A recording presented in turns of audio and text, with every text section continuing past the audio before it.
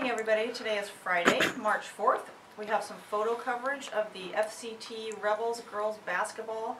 Uh, they played yesterday up in Grand Forks. Unfortunately, they lost to North Star. They'll be playing again on um, about 2:45 this afternoon and again on Saturday. So you'll have to check our um, Sunday paper for coverage on that. And we also have a story on the spring flood outlet for the Red River Basin. It looks really good for us. It looks like it's going to be really dry.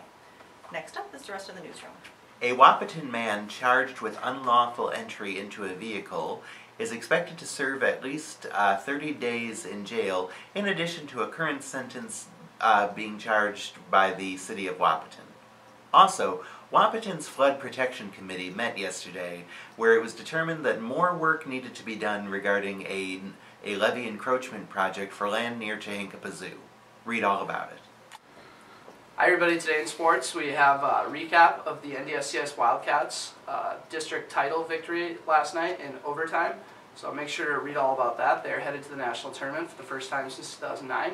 We also have a recap of the Wahpeton girls basketball team's playoff victory against West Fargo and a uh, couple photos from the Breckenridge Cowgirls basketball game.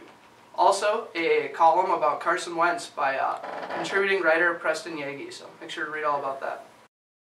It's Tuesday, March 2nd. It is the 2nd, right? We also have a um, photos from the... Mm.